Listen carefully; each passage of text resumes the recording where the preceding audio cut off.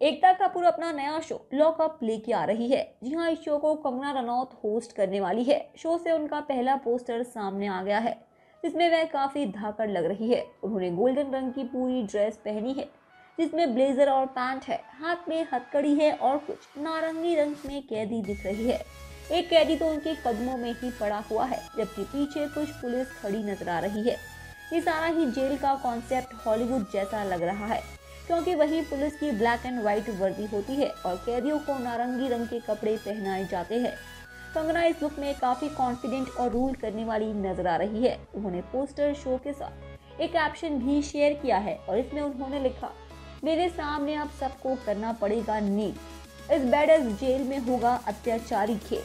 कल आएगा teaser lockup का टीजर 11 फरवरी को हो जाएगा रिलीज़ जबकि शो को अल्ट बालाजी और एन एक्स प्लेयर पर 27 फरवरी से स्ट्रीम किया जाएगा। शो के बारे में बात करें तो इसमें करीब 16 सेलिब्रिटीज होंगे, जो बहत्तर घंटों के लिए जेल के अंदर बंद रहेंगे। शो में अब तक पूनम पांडे, रोहमन चौर, ओम स्वामी, शहनाज गिल, चेतन भगत और बसीर अली के नाम सामने आए हैं। इसके अलावा बिग बॉस के ही कुछ कंटेस्टेंट्स के नाम भी है।